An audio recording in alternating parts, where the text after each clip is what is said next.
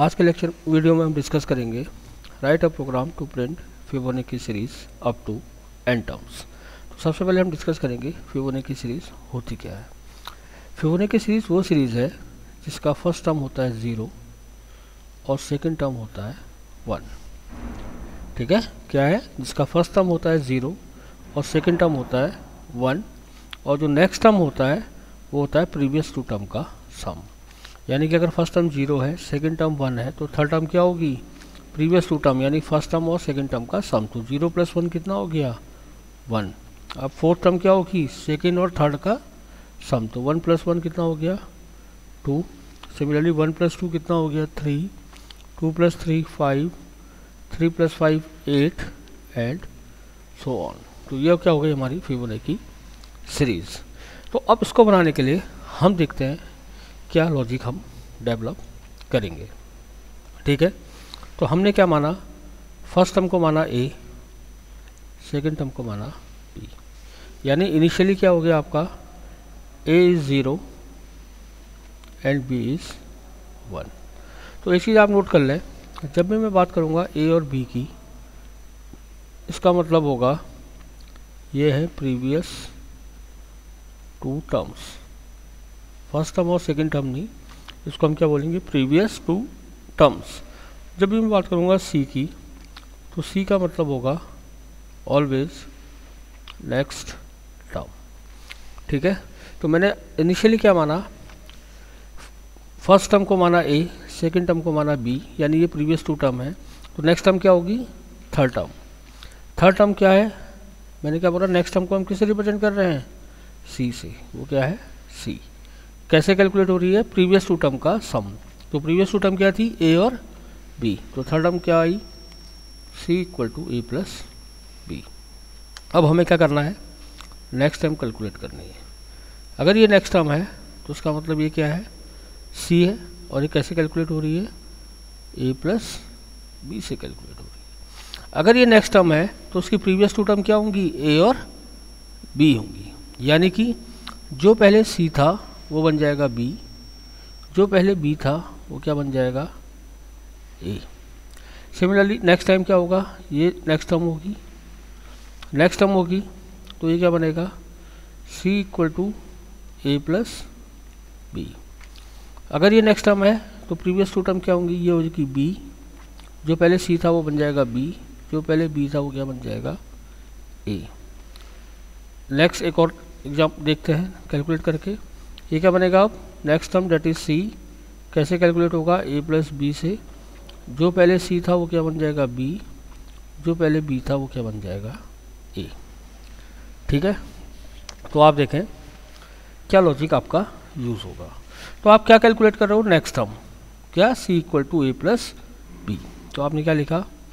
C equal to A plus B तो अगर आप इस स्टेटमेंट को देखें C equal to A plus B फिर क्या हो रहा है? उसके बाद क्या हो रहा है? जो आपका ये कैलकुलेट हुआ C equal to A plus B फिर आपने क्या करा? जो पहले सी था, उसको क्या बनाया? बी जो पहले बी था, उसको क्या बनाया? ए तो आपने क्या करा? जो पहले बी था, उसको क्या बना दिया?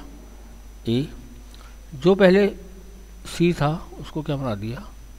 बी तो ये तीन स्टेप रिपीट हो रहे देखो C equal to A plus B A equal to B B equal to C फिर क्या आया? C equal to A plus B A equal to B B equal to C फिर क्या आया? C equal to A plus B A equal to B B equal to C means ये तीन step क्या हो रहे हैं? कंटिन्यूसली रिपीट हो रहे हैं। कंटिन्यूसली रिपीट हो रहे हैं मीन्स क्या लगेगा? ये किसके पार्ट बन जाएँगे? बॉडी ऑफ़ जब भी कोई चीज़ कंटिन्यूसली रिपीट होती है तो उसको हम किसमें डाल देते हैं? लूप में। तो ये क्या बन जाएँगे? बॉडी ऑफ़ लूप कौन से statement C equal to A plus B A equal to B B equal to C एक बार और देख लें कैसे रिपीट हो रहा है पहले कैलकुलेट किया C equal to A plus B फिर आपने क्या करा नेक्स्ट स्टेप में ए इक्वल टू बी ये चीज़ क्या है ए इक्वल टू बी फिर आपने क्या करा बी इक्वल टू सी ये चीज़ क्या है B equal to C similarly ये क्या है A equal to B B equal to C A equal to B B equal to C तो देखो कैसे रिपीट हो रहा है? C equal to A plus B A equal to B B equal to C C equal to A plus B A equal to B B equal to C C equal to A plus B A equal to B B equal to C means ये तीन step continuously क्या हो रहे हैं? Execute हो रहे हैं। तो देखो कितने के लिए एग्जीक्यूट हो रहे हैं? आपने क्या करा है? इनिशियली ए को ज़ीरो बी को वन यानी फ़र्स्ट टर्म और सेकेंड टर्म था। यहीं पे इसको आपने प्रिंट करा दिया। तो आपकी कितनी टर्म प्रिंट हो गई? दो टर्म प्रिंट हो गई। Percentile D percentile D A comma B अब ये जो सी आप कैलकुलेट कर रहे हो, ये कितने के लिए कैलकुलेट कर रहे हो? आपके पास total term C N two terms आप प्रिंट करा चुके ए और बी की वैल्यू तो अब रिमेनिंग टर्म कितनी बची? एन माइनस टू तो ये जो सी कैलकुलेट हो रहा है, कितने के टर्म्स के लिए कैलकुलेट हो रहा है? एन माइनस टू टर्म्स के लिए कैलकुलेट हो रहा है। तो आपने लूप क्या चलाया? वन से चलाया। कहाँ तक? Less equal to N minus two तक आई प्लस प्लस तो सी कैलकुलेट करा सी को प्रिंट कर दिया परसेंटाइल डी कॉमा सी से। ठीक है? तो आपका क्या होगा? फिबोने की सीरीज़ प्रिंट हो जाएगी कहाँ तक? एन टर्म तक। कैसे प्रिंट होगी?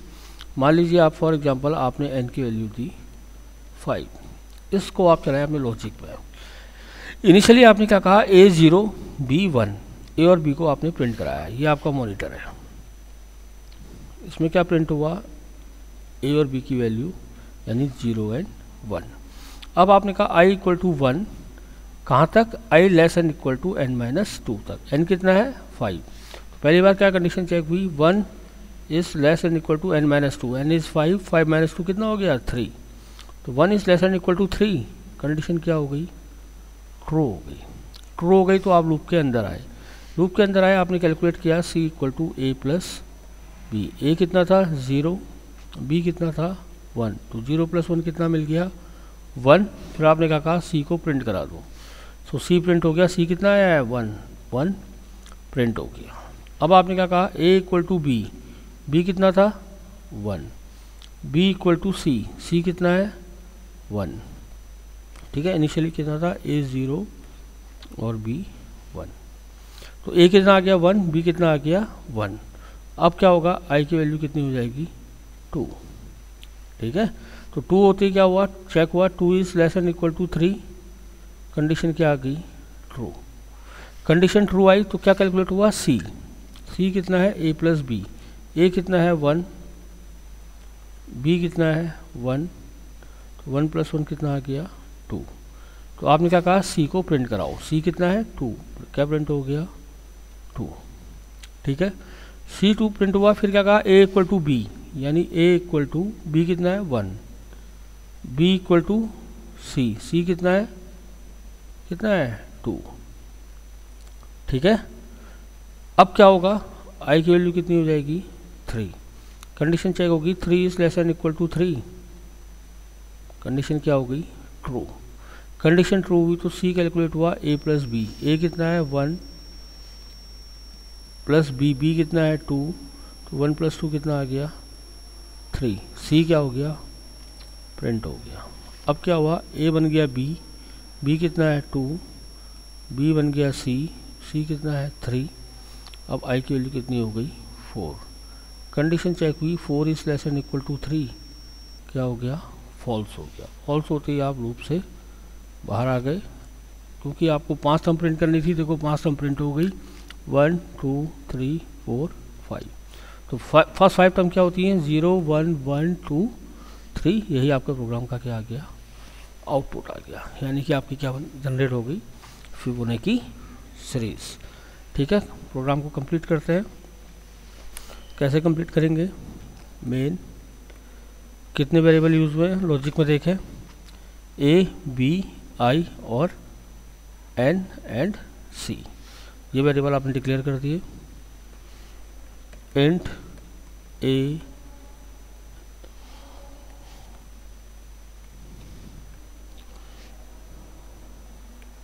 ए को इनिशियली कितना लिया? ज़ीरो बी इनिशियली कितना लिया? वन सी और कौन से वेरिएबल यूज़ हुए थे? आई और एन डिक्लेरेशन पूरा हो गया। अब क्या करेंगे? इनपुट इनपुट क्या कराना है? हमें बताना है कितने टर्म्स तक सीरीज़ को प्रिंट कराना है। तो इनपुट क्या कराना है? एन तो आपने लिखा print F enter number of terms तो आपने क्या करा? Scan F